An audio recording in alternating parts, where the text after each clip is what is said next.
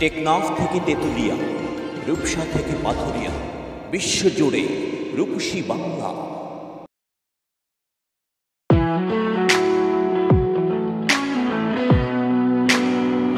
অভিনেত্রী বিপাশা হায়াত, জন্ম তেইশ মার্চ উনিশশো একাত্তর সাল। একজন বাংলাদেশি অভিনেত্রী। তিনি টিভি অভিনেতা আবুল হায়াতের কন্যা। তার ছোট বোন নাতাশা হায়াতও একজন টিভি অভিনেত্রী। বিপাশা হায়াত জনপ্রিয় অভিনেতা, নাট্য ও চলচ্চিত্র পরিচালক তৌকির আহমেদের স্ত্রী এবং এক ছেলে ও এক মেয়ের জননী। নব্বইয়ের দশকে জনপ্রিয় অনেক টিভি নাটকে অভিনয়ই তাকে বাংলাদেশের অন্যতম প্রধান অভিনেত্রী হিসেবে সুপ্রতিষ্ঠিত করেছেন মঞ্চনাটকেও তিনি সমানভাবে সফল ছিলেন, কিন্তু বিয়ের পর মঞ্চনাটকের অভিনয় ছেড়ে দেন। বিপাশা হায়াত ঢাকা বিশ্ববিদ্যালয় থেকে চারুকলায় স্নাতক পাশ করেন। তিনি তার আঁকা ছবি প্রদর্শন করেন না বললেই চলে।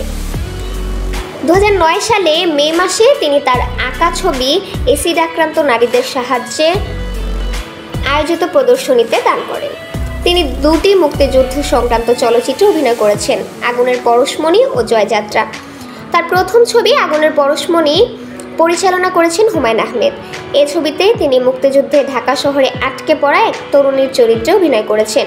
চরিত্রের নাম রাত্রি, যিনি একজন গেরিলা মুক্তিযোদ্ধা বদিউল আলম বদি আসাদুজ্জামান নূর অভিনীত ভালোবেসে ফেলেন।